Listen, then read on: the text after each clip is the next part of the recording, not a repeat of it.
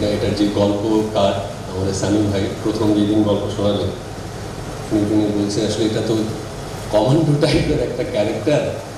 তো এমন একটা শুভকে, এমন একটা আরিফিন শুভকে যদি দেখা যায়, যেটাকে আমরা দেখিনি কখনো। তো এখানে কিছু সাংবাদিক ভাইরা আছেন। আমার মনে আছে যে সাইন করবারও আগে, এই আমি জানি এই মুহূর্তে আমার চোখের সামনে আছেন। যা যাদের কথা বলছি তারা হয়তো বুঝতে পারছেন। তাদের সাথে আমার কথা হয়েছিল যে আমি কি করব? মানে আমাদের এখন চলচ্চিত্রের যে দুর্দশা, হলের দিক থেকে চিন্তা করে সর্বোপরি তারপরে তো কোভিডের ধাক্কা তো আছে যে যেখানে পঁচিশ দিন, তিরিশ দিনে একটা সিনেমা শ্যুট হয়, সেখানে আমি আট, ন মাস লাগবে আমার যেটা ডিরেক্টর চাইছেন সেটা করতে।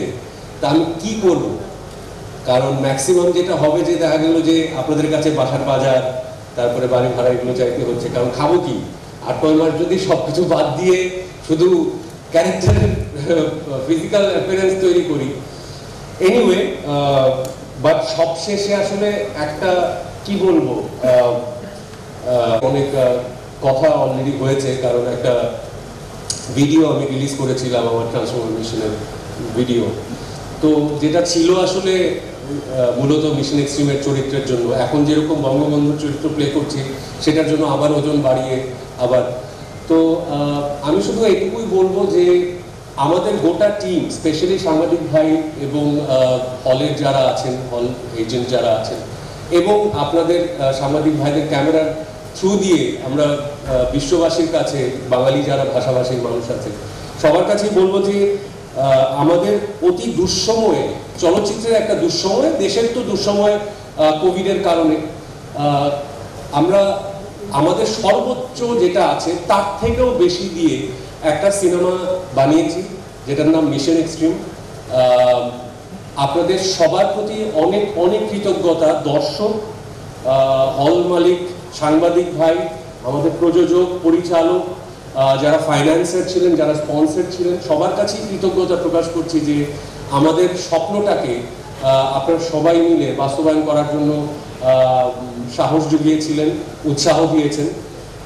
এবার একটা কাজই বাকি থাকে, ছবিটা যখন রিলিজ হবে, তখন সবাই গিয়ে হলে সেটা এনজয় করবেন বলে আমি বিশ্বাস করি, আমার আসলে সন্দেহ নেই।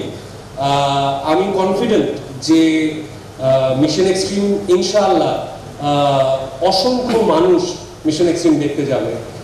আর এটা বলে একটা কথাই আমি বলব যে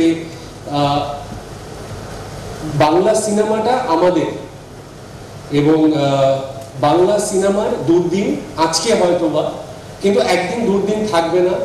আপনারা সবাই যদি বাংলা সিনেমার পাশে থাকেন, সেটা আমার সিনেমা হোক সেটা অন্য কারোর সিনেমা হোক, বাংলা ভাষার সিনেমাকে, বাংলাদেশের সিনেমাকে যখন আপনারা সাপোর্ট করবেন, আমাদের এই ইন্ডাস্ট্রি আবার সেই রাজা কবরী থেকে শুরু করে আলমগীর সামানা থেকে শুরু করে সেই যে গোল্ডেন টাইম যেটাকে বলি আমাদের সিনেমায়। আমি বিশ্বাস করি আমাদের সিনেমা ভেরি সুন ইনশাল্লাহ উইদিন ফাইভ ইয়ার্স টাইম আমরা আবার আগের জায়গায় যেতে পারব। সো আপনারা কার্পণ্য না করে তালি দিতে পারেন, আমি কিছু মনে করি